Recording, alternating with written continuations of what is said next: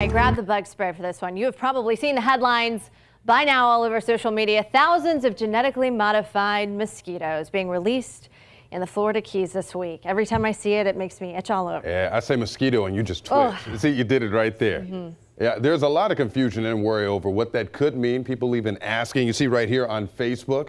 Why? What could go wrong? Why? Just why? I'm with them. I feel that person's pain. Here's another. What could go wrong here? Mm. Well, 10 Tampa Bay's Jenny Dean shows us she has all the answers from her home this morning. Jenny, what's up? Good morning. Yeah, I'm not getting bit right now, thank goodness. But you know, these genetically modified mosquitoes, you don't have to worry about them making their way all the way up here to Tampa Bay from the Keys because they can only fly, according to the expert I talked to from Pinellas County Mosquito Control, they can only get about 200 yards from where they're released, so only a few houses. And they have one specific target. It is a mosquito that is a very deadly one, and it is commonly found around our homes. It's called the Aedes aegypti.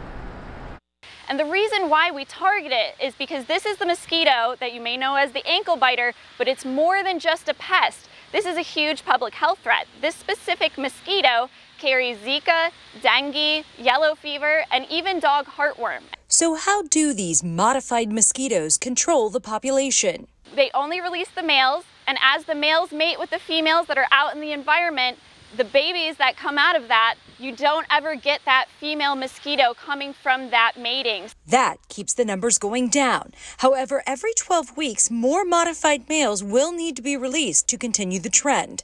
Barrow says this control method has had some success in other countries like Brazil, Panama, and India. But it is a promising tool, and it's an important thing to be looking at because as we see increased insecticide resistance, that's one of the major concerns in mosquito control. And the other is that even though we use multiple methods, this particular mosquito species loves to live in the containers around your homes.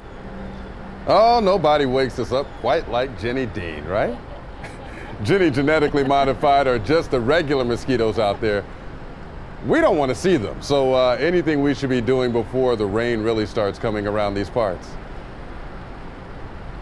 Yes, before and especially during the rainy season. You know, the best way to control this particular type of mosquito that they're trying to get rid of is to walk around your home and dump any standing water that you see, especially after it has rained. Any standing water because these type of mosquitoes only need a small capful of water in order to lay eggs and multiply quickly. So it's really important that you take that step so we can all help control that particular type of mosquito population.